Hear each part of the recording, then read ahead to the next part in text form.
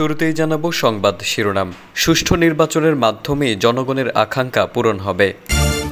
জানাব, হাসিনা সরকারের পতনের পর বিএনপিতে ঘটে যাওয়া কিছু আলোচিত ঘটনা।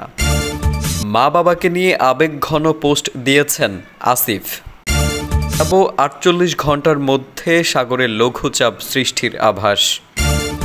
বিএনপি নেতা ইঞ্জিনিয়ার ইশরাক হোসেন বলেছেন, দ্রুত সময়ের মধ্যে সুষ্ঠু একটি জাতীয় সংসদ নির্বাচনের মাধ্যমেই জনগণের আশা আকাঙ্ক্ষা পূরণ হবে।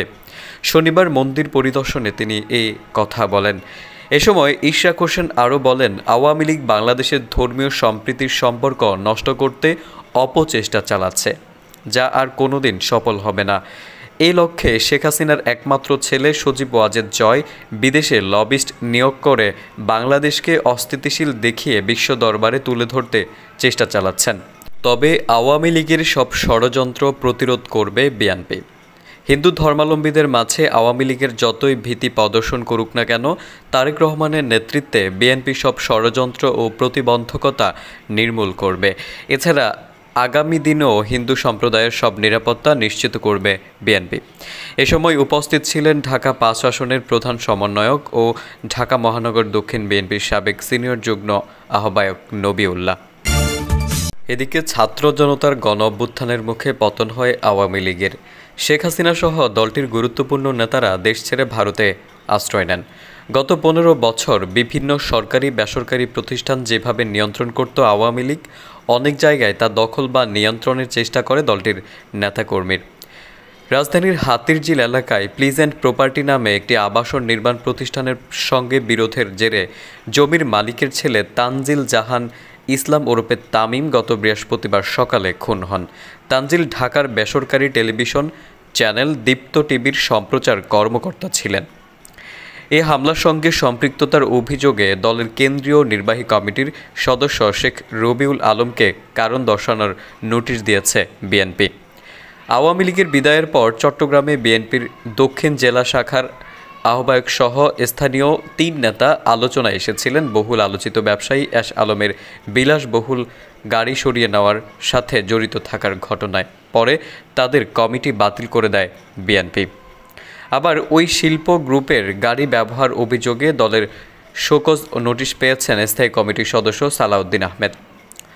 দলের একজন গুরুত্বপূর্ণ নেতা রুহুল কুদ্দুস তালুকদার গত পনেরো আগস্ট নাটোরে দলীয় আদর্শের পরিপন্থী বক্তব্যের অভিযোগে দল থেকে শোকজ নোটিশ পান।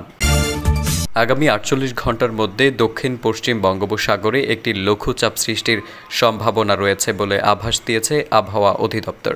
রোববার সকালে দেওয়া আবহাওয়ার পূর্বাভাসে এমন তথ্য জানানো হয়েছে। এতে বলা হয়েছে, দক্ষিণ পশ্চিম মৌসুমি বায়ু চট্টগ্রাম অঞ্চল ব্যতীত বাংলাদেশের সব জায়গা থেকে বিদায় নিয়েছে।